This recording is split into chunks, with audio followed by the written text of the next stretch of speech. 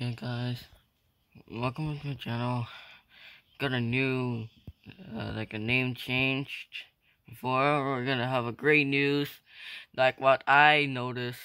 I don't freaked out, but that's alright.